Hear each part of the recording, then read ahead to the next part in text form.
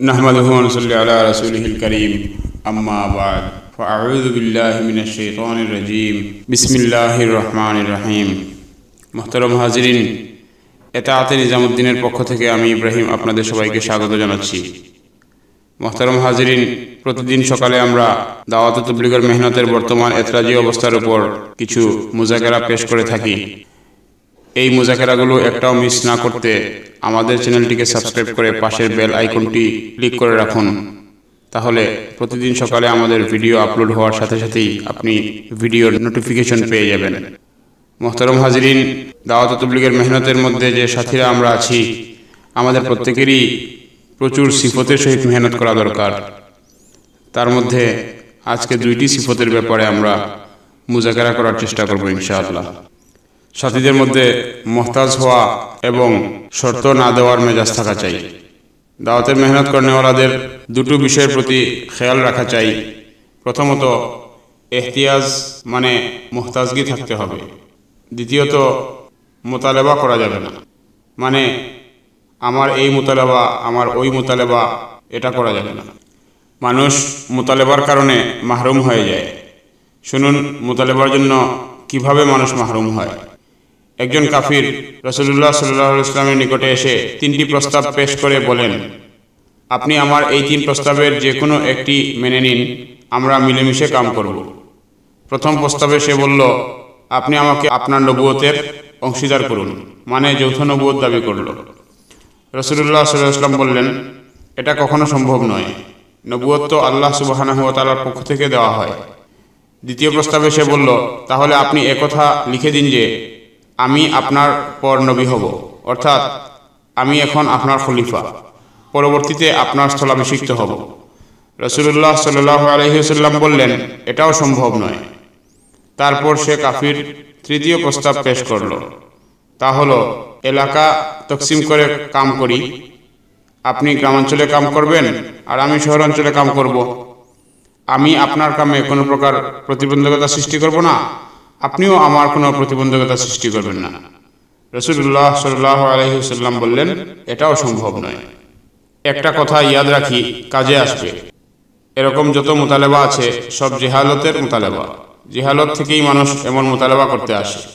সেই সময় এখনকার জ্ঞানপপীরা থাকলে হয়তো রসুল্লাহ সাল্লাহ আসলামকে বলতেন যে, আপনি তাকেও আপনার নবুয়তে শরিক করে নিন। হালত বহুত খারাপ চলতেছে।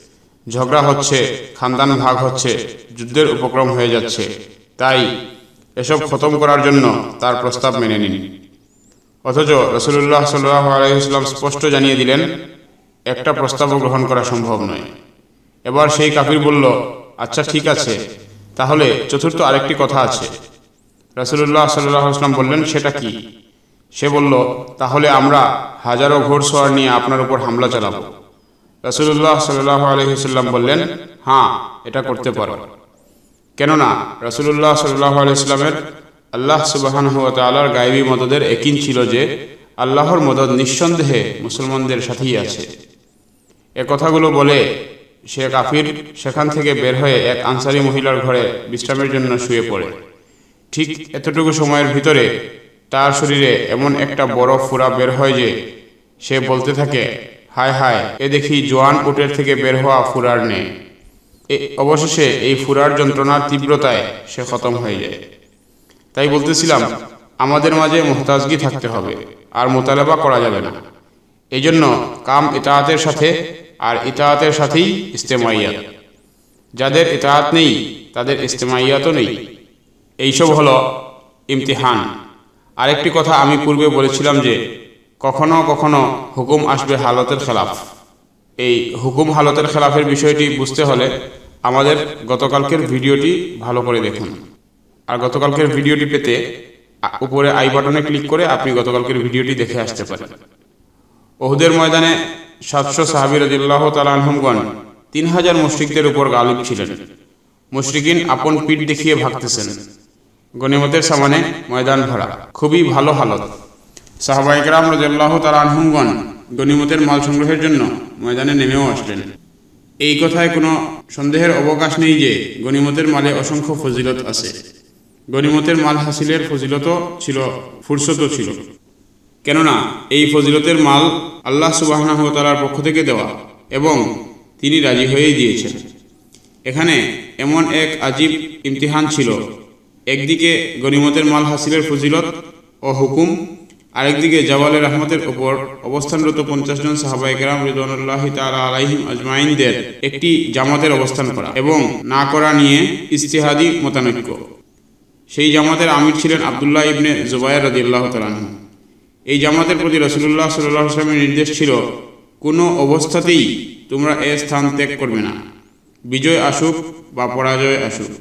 এই দুই অবস্থার মধ্যে যেটাই আসুক, তোমরা তোমাদের এই স্থান ত্যাগ করবে না।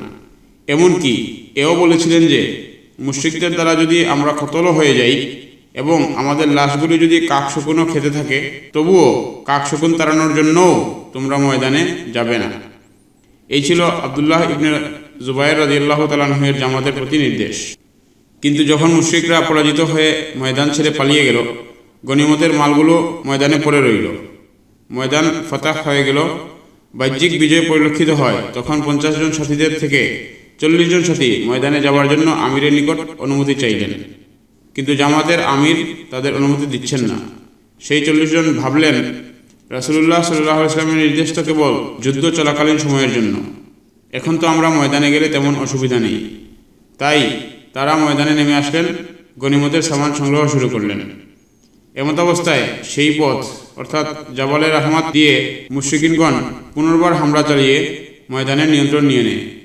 সাহাবা একরাম রাজিয়াল্লাহ তালাহমগণ বুঝতেই পারেননি কখন মুশ্রিকিনগণ তাদের মাথার উপর চেপে বসেছেন। চারদিক থেকে হামলা শুরু হতে লাগল। সাহাবা একরাম রাজিয়াল্লাহ তালাহমদের মাঝে আকস্মাত আতঙ্ক ছেয়ে গেল যে সাহাবা একরাম রাজিয়াল্লাহ তালাহমগণ নিজেই নিজেদের কতল করতে শুরু করলেন। এজন্য যে এমন এক ঘামসান যুদ্ধ আরম্ভ হলো।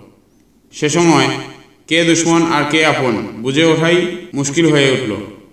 এক সাহাবি তো চিৎকার করে বলতেছিলেন, আরে আরে, তুমি কাকে কতল করছ? ইনি তো আমার পিতা, ইনি তো মুসলমান। কিন্তু ততক্ষণে তার পিতার কতল হয়ে গেল। কিন্তু সাহাবাই সাহাবাইকরাম রাজ্লাহ তালহমগণ এমন আজীব মেজাজের ছিলেন যে, আমরা আজ তা কল্পনাও করতে পারি না। তার পিতাকে কতল করা হলো? সে বলতেন, আমি সারা জীবন আমার পিতার কাতিলের জন্য মাফিরাদের দোয়া করেছি যে আয়াল্লাহ আমার পিতার কাতিলকে আপনি ক্ষমা করে দিন। সে না বুঝে ভুলবশত আমার পিতার কতল করেছেন। আপনি তাকে ক্ষমা করে দিন। বড় চিন্তার বিষয়, এ যুগে কেউ তার পিতার কাতিলের জন্য মাগফিরাতের দোয়া করবে? এমনটা আশা করাও কি সম্ভব? অথচ আজ আমরা সামান্য ভুলের জন্য মানুষকে বদুয়া দিয়ে থাকি। যাই হোক, যা বলতেছিলাম, কখনো কখনো হুকুম আসবে সম্পূর্ণ হালতের খেলাফ।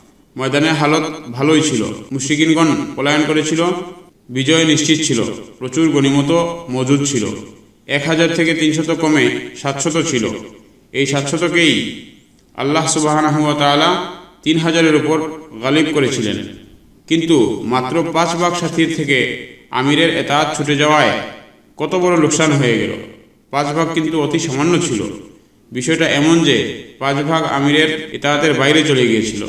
এর তাসির শুধু এই পাঁচ ভাগের উপরেই পড়বে, বরং একজন সাথীর আসর সম্পূর্ণ জামাতের উপরেই পড়েছে। পুরা জামাত ক্ষতিগ্রস্ত হয়েছে। সত্তর জন সাহাবি রিদানুল্লাহ তাল আলহিম আজমাইন শহীদ হয়েছেন এবং রসুল্লাহ সাল্লাহ ইসলামের শারীরিক আঘাত শুধুমাত্র ওহুদের যুদ্ধের সময় লেগেছিল। আর কোনো যুদ্ধে শারীরিক আঘাতপ্রাপ্ত হননি। এ ঘটনায় বহু কিছু শিখার আছে। এজন্য সবসময় স্মরণ রাখি, কখনো কখনো হুকুম আসবে সম্পূর্ণ হালতের খেলাফ। চাই হালত রুকাউট আসুক অথবা মুয়াফেক আসুক। উভয় হালতে আমিরের এতাহাতের উপর জমে থাকতে হবে। যতক্ষণ না আমিরের পরবর্তী হুকুম না আসে। মোহতরম হাজিরিন, আমরা আমাদের আমিরকে এই জন্য এতায়াত করি যে, এটা আল্লাহ তালার হুকুম। আমরা আমাদের আমিরকে এই জন্য এতায়াত করি না যে, আমাদের দল ভারী হোক। তাছাড়া আমাদের আমিরের হাকিকাত বয়ান আমরা এই জন্যও করি না যে আমাদের দল ভারী হোক।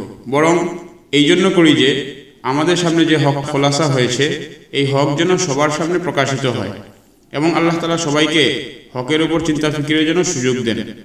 কারণ মুমিন তো কখনো হালতে মোতাসির হয় না। হালত তো আল্লাহ তালারই হাতে। একমাত্র হালতের পরিবর্তন করেনেওয়ালা তো একমাত্র আল্লাহ সুবাহান তালাই বিধায়, আমি আমার জাতকে বাকি রাখার জন্য, আমি আল্লাহ তালার হুকুমের উপরে আমল করা আমার জন্য জরুরি। এই জন্য আল্লাহ তালা আমাদের প্রত্যেককে এই কথাগুলোকে বাসিরতের সহিত বুঝার, চিন্তা ফিকিরের এবং আমলের ও এহতেমামের তৌফিক দান করেন। ও আফির দাওয়ান আলহামদুলিল্লাহ রবিল আলমিন।